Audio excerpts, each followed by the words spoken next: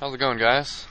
Um, this video is going to serve as a message to Robert Bowling, the community manager of Infinity Ward, or any of his affiliates, or coworkers, or any of the like.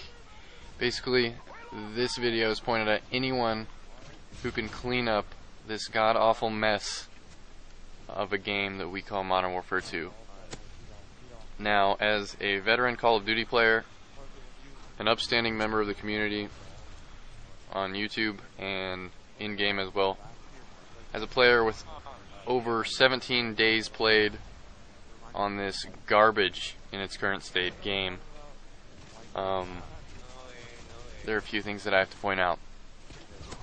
And the first thing is this if you create a video game where a player can go completely flawless standing in one spot, looking into one spot, and using one main perk and exploiting it, like I am right now, and you're fully rewarded for this, something's wrong.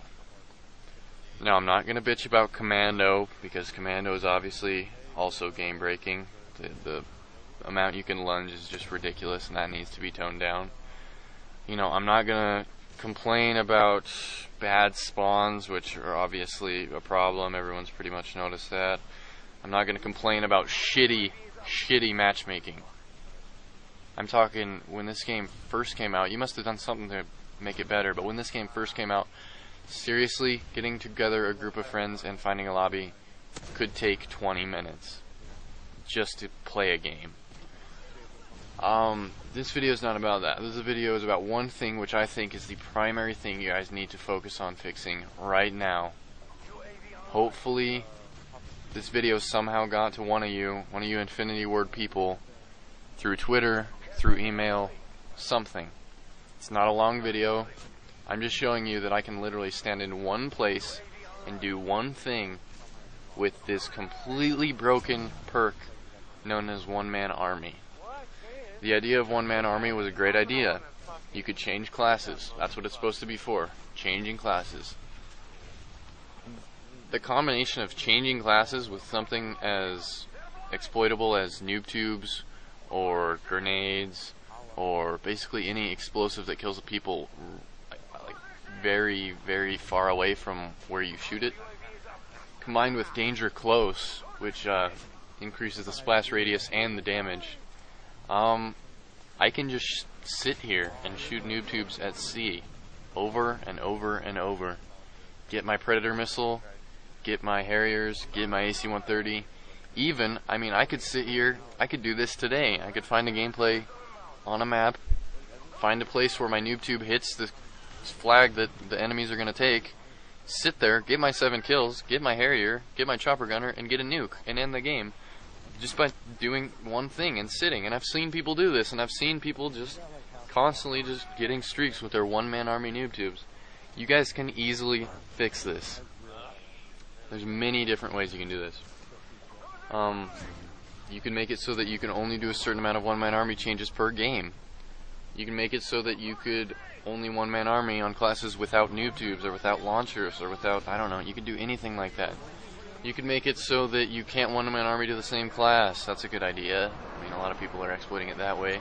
But then they would just make two launcher classes, or two noob tube classes, or whatever. So, you just need to fix the idea of making one-man army something where you have unlimited amounts of resources. The game should never have the game should never give you unlimited amount of resources at your disposal at your disposal just for having a perk on. It's completely overpowered. It's unbalanced. It's not what this game is supposed to be about. This game is supposed to be competitive. It's supposed to be that the better player wins. That's how a game should be. A good game should be that the better team wins and that the better player comes out on top. This game is bullshit. Predator missiles, Harriers, AC-130 chopper gunner, everything. You can get a fucking chopper gunner out of a care package, that person could switch to Danger Close Pro and have literally 25 to 30 kills at their disposal. A Danger Close Pro Chopper Gunner mutilates everything. I don't care how good it someone is. If someone is number one player in the world, they are not going to be able to dodge a Chopper Gunner out of spawn. It's. You guys already. You guys already messed up on this game enough. It's time to start giving back to the community. You overpriced a fucking map pack. You have not fixed any of the things that we've been, you know, begging for. Begging for. Have you seen any videos? Have you watched any commentaries from the Call of Duty community? We are literally up in arms about all these issues, and you do nothing? Do you have any respect for your fan base, or are you too busy counting your money? And I know this is offensive to you. I'm trying to offend you because being nice has not worked, obviously. So, to anyone from Activision or Infinity Ward listening, basically, fix this or fuck you. Many, many Call of Duty big names have quit your series. Hutch, Blame Truth, Excaliburs, not playing Modern Warfare 2 anymore because of how broken it is. Just let that sink in. This has been Muzzafuzza, 23 and 0 with your broken ass perk. I'll see you guys later.